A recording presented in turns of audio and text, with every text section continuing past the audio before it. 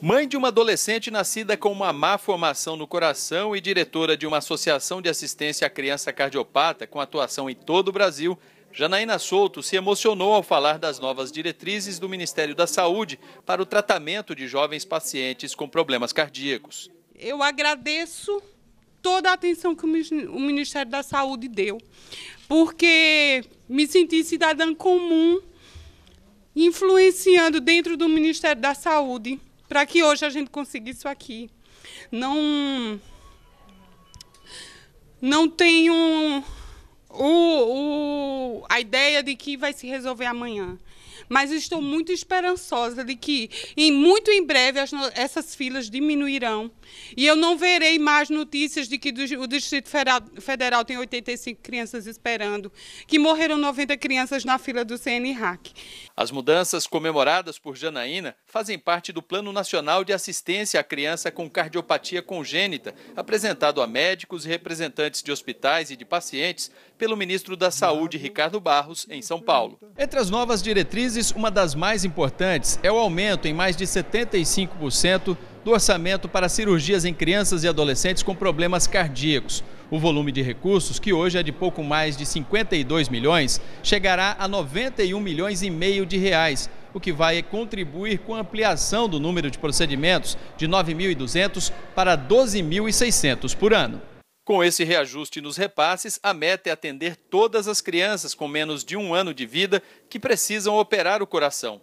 De acordo com o ministro Ricardo Barros, esse e outros aumentos de recursos só são possíveis por causa da política de austeridade e gestão adotadas pelo Ministério. Nós só estamos podendo atender porque fizemos uma gestão austera, economizamos 3 bilhões e meio de reais no, neste período de gestão e com isso estamos podendo atender a várias demandas, porque toda essa economia é para ampliar o acesso e o financiamento do SUS. Tudo é reinvestido no SUS. Isso nos permitiu vir hoje aqui e aumentar em 40 milhões de reais por ano o financiamento de cirurgias eh, pediátricas de cardiologia. Foi feita também uma mudança na forma de pagamento desses serviços. Antes, os repasses eram realizados com base no teto do valor de procedimentos de média e alta complexidade.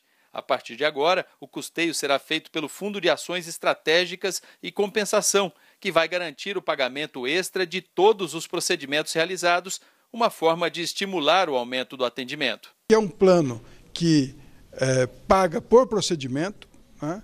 É um plano, um plano que exige contrapartida do serviço, porque eles têm que produzir para receber, que está absolutamente monitorado. Os serviços que não cumprirem meta não receberão mais os recursos e nós poderemos, a partir daí, é, ter a certeza da produção dos serviços. Para quem luta em busca de apoio e melhora no atendimento para os pacientes, as novas diretrizes do Ministério da Saúde para o tratamento de cardiopatias congênitas vão ajudar a salvar vidas. A cardiopatia congênita é um diagnóstico muito grave? É. Mas não é letal, não é o fim. Existe tratamento e existe solução, desde que seja feito no tempo certo. Minha filha teve atendimento, hoje tem 15 anos, está de férias em Recife viaja sozinha, tem vida normal, e eu quero isso para as outras crianças do meu país.